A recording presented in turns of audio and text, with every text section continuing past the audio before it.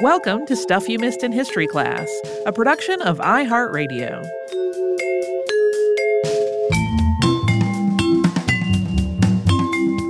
Hello and welcome to the podcast. I'm Tracy V. Wilson. And I'm Holly Frey. Today we are going to talk about Tanaka Hisashige, who was an inventor, a craftsman, and an artisan. And he also lived during a time that Japan went through just enormous cultural and scientific and technological changes that like directly affected his life and his work. So his story is about creating amazing and intricate works of engineering and craftsmanship, but it's also about witnessing and being part of just a dramatic shift in Japan as a nation and Japan's place on the world stage. Tanaka Hisashige was born on September 18, 1799, in Kurume on the island of Kyushu in the southwestern part of the Japanese archipelago. This was in the later part of the Edo period, also known as the Tokugawa period. We talked about this period in Japanese history a little earlier this year. We did the Saturday Classic on Hokusai, which came out in January.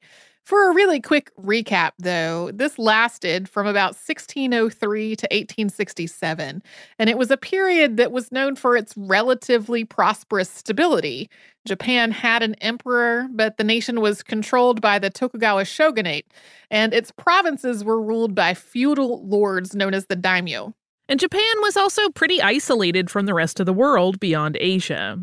Japan issued a series of edicts in the 1630s that expelled Christians and Westerners from its borders and restricted trade with other nations. It maintained trading relationships only with the Chinese and the Dutch. Japan's only international trading port was in Nagasaki. Tanaka's father was a craftsman who made accessories and ornaments from tortoise shells. And as the oldest son, Tanaka's involvement with this business and the skills and techniques that were involved with it, that would have started at an early age. But tortoiseshell carving really was not what inspired him. At heart, he was really an inventor. When he was nine, Tanaka took one of his first inventions to school. It was an inkstone case with a locking drawer. Its locking mechanism involved a cord that had to be twisted in a very specific way to release the lock. At 14, he built a loom used to make a type of patterned fabric known as kurume kasuri, as the name suggests, this is a style of cloth that's specific to the Kurume region and was developed by a 12 year old girl named Inoue Den in about 1800. It is woven with indigo dyed cotton thread with intricate patterns, usually in white as part of the weaving. Another source of fascination for Tanaka was karakuri puppets or dolls. Karakuri essentially means mechanism, and it's a term that's used to describe various complicated devices. Karakuri dolls or puppets could also be called automata. They have a lot in common with the automata that we talked about in our previous episode called Five Historical Robots. They used things like strings, pulleys, cams, gears, gravity, air pressure, and hydraulics to move around and perform various tasks. They were both beautiful and complex, and they combined long established traditions of puppetry and clockmaking in Japan. These contraptions were really popular during the Edo period, and there was an annual festival held for them at a shrine where Tanaka lived. He also read about and studied them through a work called the Illustrated Compendium of Clever Machines by Hosokawa Hanzo Yorinao. This had been published in 1796, and it included all kinds of illustrations, descriptions, and diagrams of things like mechanical clocks, toys, and karakuri puppets. Tanaka was building these himself by the time he was 20. Some were based on designs that other people had created, like the ones in this book. One of them was a tea serving doll. It would carry a full cup of tea from one end of a table to another. And then, after the recipient drank the tea and put the empty cup back onto the doll's tray, it would turn around and go back to where it started. This is one of the devices that was described in the Illustrated Compendium of Clever Machines. I want this illustrated compendium. Others of Tanaka's Karakuri dolls were from his own design. He had studied and made a replica of a Dutch air gun, and he used the same principles of air compression in some of his designs. His best known device was the Yumihiki Doji, or Little Archer. It's a figure on a box that has a bow with a fan like stand of four arrows in front of it. It shoots each of the arrows at a nearby target. The little archer is often described as being a boy, but in Tanaka's notes, it's described as a girl. The head and the face are very lifelike, and every time it hits the target, the head moves in a way that makes it look like the archer is smiling in a pretty satisfied way. But one of the four arrows always misses, and when that happens, the head instead moves away that it makes it seem crestfallen and defeated. To add even more to the complexity, if you remove the sides of the box that the archer sits on, you can see the gears at work inside, along with another figure that appears to be winding the lower gears to keep the whole thing moving. It's kind of a almost like cartoon physics kind of situation where there's a machine and inside the machine is something that's like making the machine do. All of the archer's motions are really precise and exact. It grasps every arrow between the thumb and the finger. It moves its head while it aims, and it shifts the bow when it releases the arrow. At this point, this little archer is more than 200 years old and it still works. You can see videos of it online. Tanaka's other automata included sake cups, which behaved a lot like the tea serving dolls that we talked about earlier. Another was Kobo Daishi's secret ink brush. It depicted the Japanese Buddhist monk Kobo Daishi, who was known as Kukai during his life in the late 8th and early 9th centuries. The figure of Kobo Daishi uses a brush to draw a character in the air, and the character that he's drawing simultaneously appears on a separate Japanese sliding door. Tanaka often left some of the automata's inner workings visible, so observers could get a hint of all the complex gears and pulleys and other systems inside. By the age of 24, Tanaka Hisashige was considered to be a master at making these automata. He was nicknamed Karakuri Giemon. Giemon was another version of the name Hisashige, and he was hoping to make his living by creating uh, these automata and then also entertaining people with them. This was a career that combined being an engineer, an inventor, a craftsman, and an entertainer all into one. He was so eager to do it and so clearly skilled at it that he convinced his father to let one of his younger brothers take his place in the family business. And then Tanaka started touring Japan with his automata. There's some debate about whether the techniques and innovations that were used in Karakuri influenced other Japanese technology and innovations. But when it comes to the people who made them, it's clear that some went on to make technological advances in other fields. One example Tanaka Hisashige, who we will talk about more after a sponsor break.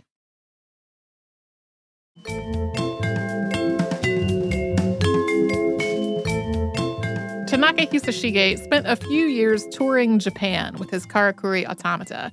He became famous in this process, but unfortunately, this career did not last. As we noted at the top of the show, the Tokugawa period in Japan was known for its stability, but at the same time, it was something of a financial house of cards. The daimyo were required to keep one home in their province and another in Edo, and then to travel back and forth between them. Both households and the travel were expected to be expensive and opulent. The idea being that if the daimyo were spending all their money on all this lavish upkeep, they'd never have enough money to be able to raise an army and rise up against the shogunate. At the same time, because the Tokugawa period was also relatively peaceful, the samurai class had evolved from being warriors to being administrators and bureaucrats, with most of them living on small stipends that weren't really enough to get by. Many were impoverished and dissatisfied with the shogunate and the daimyo. These and other factors led Mizuno Tadakuni, who was an advisor to the shogun, to institute a series of reforms starting in 1830 during what was known as the Tempo era. They emphasized austerity and frugality in all areas of life. Many officials and bureaucrats lost their positions, and expensive styles of artwork, clothing, and entertainment were discouraged or outright outlawed. This included the Karakuri automata that Tanaka Hisashige had been designing and making. Tanaka turned out to be one of the Edo period's last karakuri masters, and many of the surviving pieces that still exist today are ones that he created. With his career as a karakuri craftsman no longer possible, Tanaka moved to Osaka in 1834 and started focusing on more practical uses for his skills in invention and engineering. He developed a water pump that firefighters put to use. He also created a collapsible candle stand that became very popular among doctors who could fold it flat to carry with them when they visited their patients. He also drew on the technology of that Dutch air gun to improve on the oil lamps that were being used for illumination. These lamps generally used a type of oil that didn't move up the lamp's wick very easily, which meant that the light tended to be dim and kind of flickery. Tanaka used compressed air to force the oil through the wick, which made the lamp burn brighter, longer, and more reliably. This lamp was called the Mujinto, and Tanaka made them in different sizes and styles to suit different tastes and needs. And soon they were being used all over Osaka. However, those tempo reforms had not returned Japan to a state of prosperous plenty the way they were intended. A famine developed alongside the austerity measures and other reforms, and that famine spiked in 1836 and 1837. In Osaka, this led to food riots and an uprising against the local leadership. Tanaka Hisashige and his family fled, leaving behind a workshop that was burned to the ground in the uprising. They moved to the Fushimi district of Kyoto. In Kyoto, Tanaka opened a shop where he made and sold candle stands and Mujinto lamps. He branched into new areas of study, including mathematics and astronomy. He also became interested in Western style clocks that were being imported to Japan from Europe. He started making clocks on his own, including one that used a taiko drum as an alarm. He also got back to making devices that were not strictly practical. This time, they were incredibly intricate timepieces. One was called the Shumisengi, which he finished in 1850. This was requested by a Buddhist monk named Fumon Entsu, and it represented the universe as explained through Buddhist cosmology rather than through Western astronomy. The Earth is at the center, with the sun and the moon orbiting Mount Sumeru. It also indicated the 24 seasons of the year in the Buddhist calendar. This was a tabletop device that was wound up with a key, and sometimes it's described as Japan's first planetarium. His most famous creation during this time was the Mannen Jimeisho chronometer, or the myriad year clock, sometimes called the million year clock. He started on it in 1848 and he finished it in 1851. This clock measures about 63 centimeters or 24 inches high and it weighs 38 kilograms. It's about 83 pounds. In the words of Yulia Frumer, author of Making Time, Astronomical Time Measurement in Tokugawa, Japan, quote, while constructing the ultimate clock, Hisashige aspired to a perfection and beauty that were not only technical, but also aesthetic and material. This timepiece is intricate and it's also beautiful with an ornate surface that's covered in tiny mother of pearl inlays that are patterned in a style that's known as Raden. There are also painted enamel inlays around the base depicting things like a tortoise, a rooster, a drum, and a rabbit. This device has approximately a thousand pieces in its internal working parts. This clock has six faces, each with a unique purpose. The first is a wadoke, or a traditional Japanese clock that was used during the Edo period. In Western timekeeping, everything is a fixed length. There are 24 hours a day, 60 minutes an hour, 60 seconds in a minute, and the lengths of those increments do not change. But in traditional Japanese timekeeping, the length of an hour varies by the season. Each day is divided in half, with one half being daylight hours and the other being darkness. During the summer, when the days are longer, the daylight hours are longer and the nighttime hours are shorter. During the summer, when the nights are longer, it is, of course, the opposite. This sounds to me both beautiful and hard to keep up with. just because we didn't grow up with it. If it yeah. were your normal thing, you'd be like, yeah, now is the time when the hours are longer. What are you talking about? You'd be like, why are all hours the same number of length all the time? Uh, so clockmakers in Japan made clocks that told time this way for about 200 years. They used a variety of methods to count for these seasonal variations. For example, they might have interchangeable faces or pulleys that people adjusted as the seasons changed. In the myriad year clock, the hours were represented by 12 moving silver pieces, six for the day and six for the night, with the clock's inner workings adjusting the widths between them over time. So during the summer, the pieces on the top half of the clock face would slide farther apart to account for the longer hours, while the pieces on the bottom half would slide together, and then in the fall, that would reverse. The myriad year clock's second face shows the 24 traditional seasons in a Japanese year, which were originally taken from the Chinese calendar. This calendar starts in the early spring, and it includes the spring and fall equinox, as well as the summer and winter solstice. But it also contains other seasons in between those markers, like rainwater, which is between the beginning of spring and the spring equinox, as well as lesser heat and greater heat, which are between the summer solstice and the beginning of autumn. The third face shows the days of the week and the hours of the day. And the fourth shows the date using the Chinese sexagenary or 60 year cycle. The fifth displays the lunar month and the phases of the moon. And the sixth includes a Western style pocket watch, probably of French or Swiss origin, which shows the hours, minutes, and seconds uh, according to Western timekeeping. This pocket watch also acts as a regulator for the rest of the clock. In addition to those six faces, the top of the clock, as seen from above, also shows a map of the Japanese archipelago with a model of the sun and moon on arms above it, showing the position of the sun and the moon in relation to the earth. There are four main springs inside this clock, connected to one another with chains to keep them in sync with each other.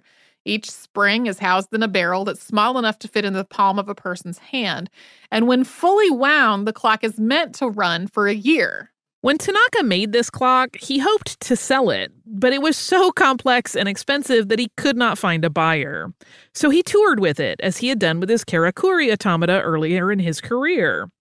Today, the clock is designated as an important cultural property in Japan, we're going to come back to it later. When Tanaka finished the myriad year clock in 1851, Japan was about to go through massive changes that affected virtually every area of life, including timekeeping.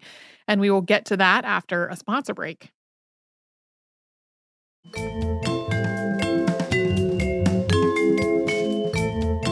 Between 1633 and 1853, Japan was relatively, but not completely isolated from the rest of the world.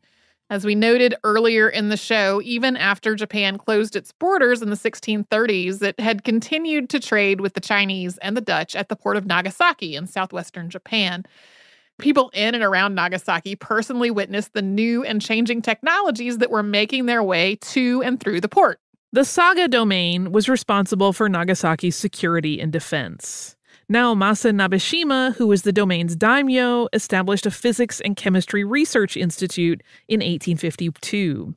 He invited some of Japan's foremost inventors and engineers to the institute, and one of them was Tanaka Hisashige. Another was Sano Tsunetame, founder of the Japanese Red Cross Society.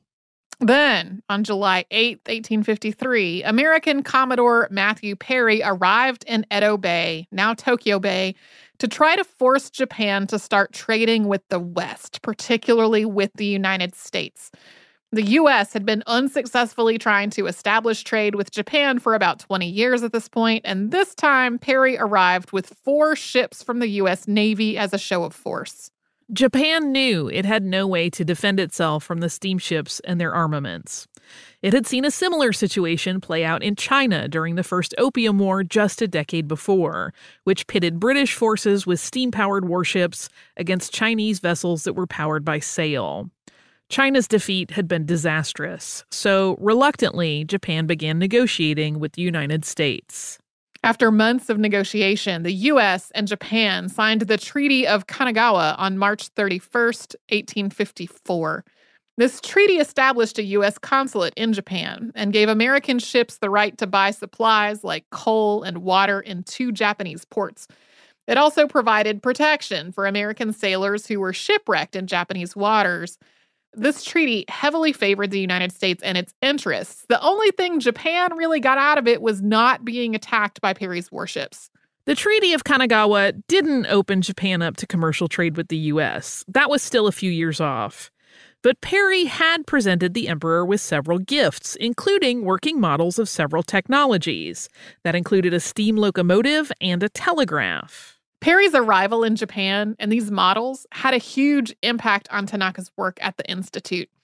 His earlier work had mostly been focused on technologies that an individual person might use at home. But now he and others started looking at technologies that a whole community might use, like a railroad or a telegraph system. He became part of the team that built Japan's first working model of a steam locomotive, and in 1865, he helped build Japan's first steamship. As we noted earlier, Japan's social and economic structure had already been struggling before Perry arrived, and attempted reforms had often made the situation worse instead of better. In 1868, two clans combined forces to stage a coup d'etat, which took place on January 3rd of that year. They overthrew the Tokugawa shogun and restored Emperor Meiji, who was 14 at the time, to power. Massive changes followed to virtually every aspect of Japanese life. The feudal system and the samurai class were abolished, as were the daimyo's personal armies. The nation industrialized very rapidly, even that Japanese system of timekeeping that we talked about with the myriad year clock was replaced with the Western style 24 hour day. Basically, the emperor and his advisors recognized that Japan was under serious threat from Western powers, and they believed that their best chance at retaining their independence was to make the nation of Japan more compatible with the Western world. This is often described as a process of westernization and modernization, but some sources really give it a slightly different nuance that Japan as a nation was trying to find a more Western oriented way of being Japanese. This mindset affected Tanaka Hisashige's work as well. As noted in a piece from the Seiko Museum, he wanted, quote, to accept advanced Western technologies and integrate them with Japanese culture in ways useful for society. During this time, Tanaka did some work on military technology, and eventually he moved back to his home province of Kurume to take over a factory. He kept on inventing things while there, including an artificial ice making machine. In 1873, when he was 73 years old, the Department of Industry appointed Tanaka to develop Japan's telegraph system. He moved to Tokyo at the government's request to do this work. Two years later, on July 11th, 1875, he founded Tanaka Seizo Sho, or Tanaka Engineering Company. Tanaka Hisashige died in Tokyo on November 7, 1881. He had continued to create, invent, and refine until the end of his life. His adopted son took over Tanaka Engineering Company, which, after a series of name changes and mergers, became Tokyo Shibaura Denki, or Toshiba, in 1939. Today, Tanaka Hisashige is seen as one of the founders of Japan's technology industry. The myriad year clock stopped working sometime after Tanaka's death. Then in 2004, it was totally disassembled to make a replica for the Expo 2005 World's Fair. The National Museum of Nature and Science and Toshiba Corporation were both part of this project, which was intended to analyze Edo period innovations and figure out their engineering. 100 specialists worked with the Myriad Year Clock for an entire year, including the Seiko Watch Corporation calling one of their retired watchmakers in for help. Just taking the clock apart and figuring out what all the components did took five months. And the team discovered that two of the clock's original springs had warped and cracked, which was probably what caused it to stop running. Putting the clock back together was also an enormous undertaking. And in terms of the replica, Microscopic analysis of the original showed that every single piece was handmade, including individually filing every tooth of every gear. Some of these handmade pieces just could not be perfectly replicated. Today, Toshiba Corporation owns the original Myriad year clock, but it is on permanent display at the National Museum of Nature and Science in Tokyo. The replica is at the Toshiba Science Museum in Kawasaki. Also, the October 16th, 2012 Google Doodle honored Tanaka Hisashige's 213th birthday. It depicts a Karakuri figure that uses calligraphy like strokes to make a G to complete the name Google.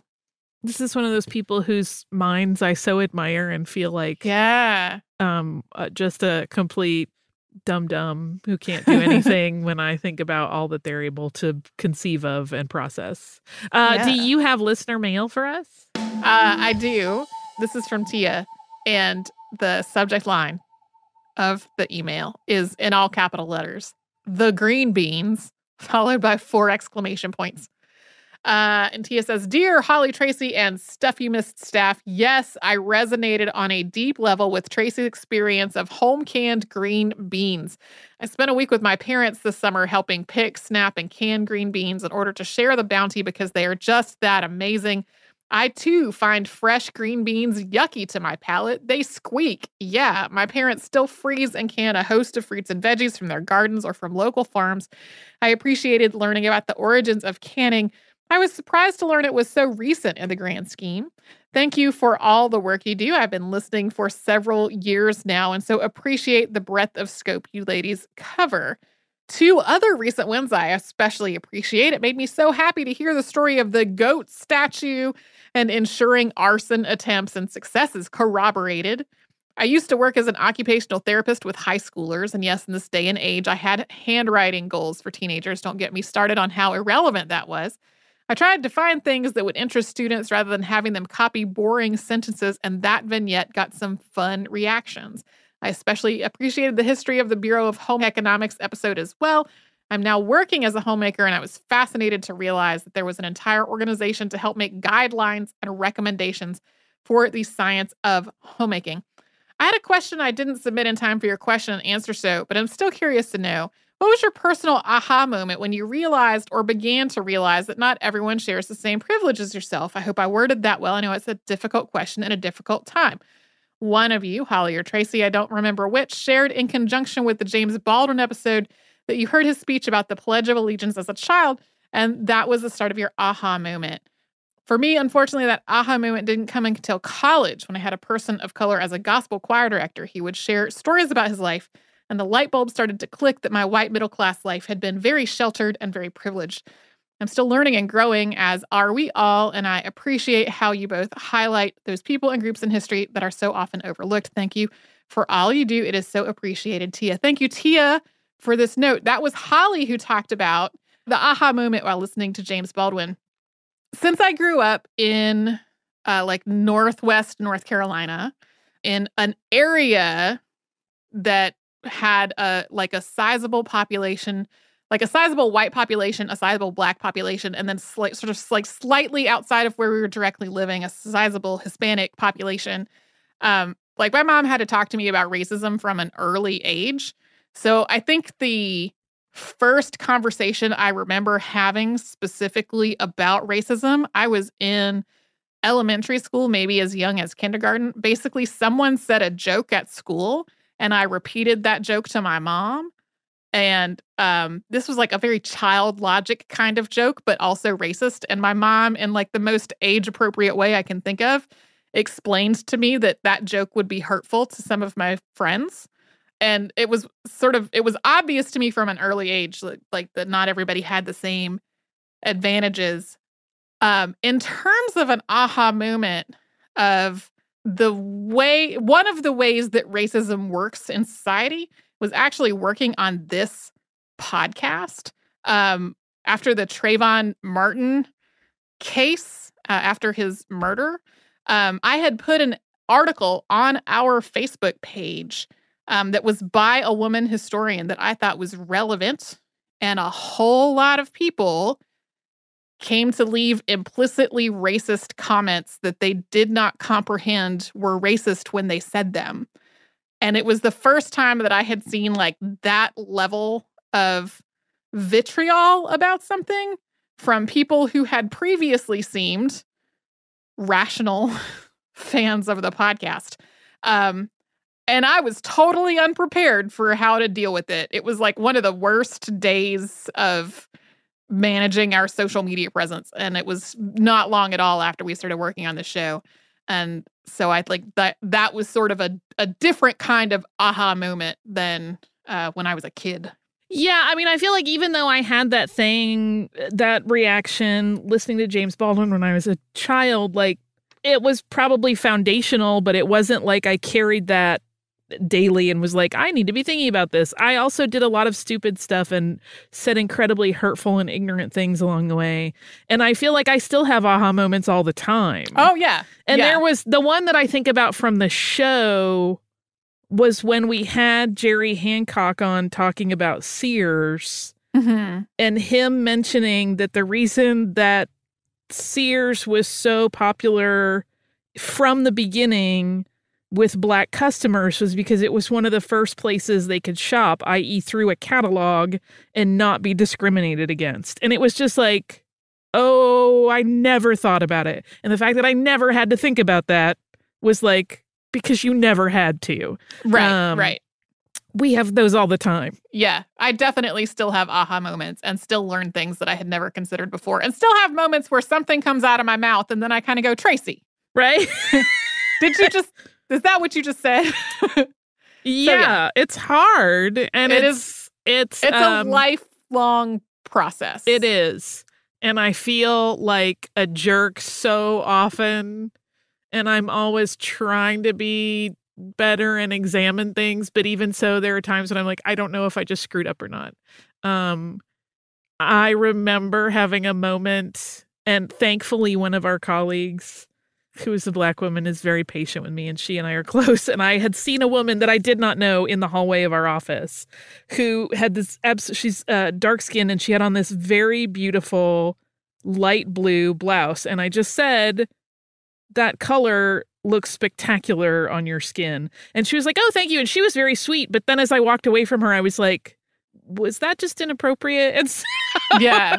so then I had this conversation with our colleague and with some of my other friends of color, um, black and otherwise, and and kind of got their take on it. And thankfully, like it is not their job to educate me, but because they have always been very kind and we have a close enough relationship that I can go, can I ask you this question? You can tell me no. Um, luckily, I got my gut check. The consensus on that was no.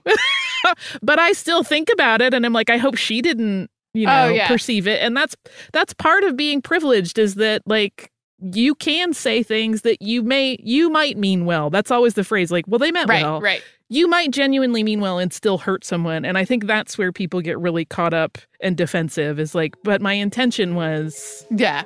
but that doesn't matter if somebody still gets hurt in the end. Yeah. That's kind of the lifelong aha of this show for me. Yeah. Yeah. It will be lifelong for all of time, I think.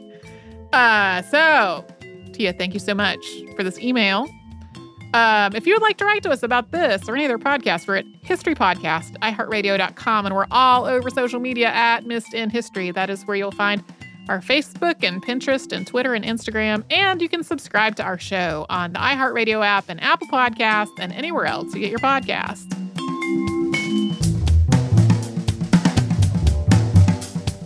Stuff You Missed in History Class is a production of iHeartRadio. For more podcasts from iHeartRadio, visit the iHeartRadio app, Apple Podcasts, or wherever you listen to your favorite shows.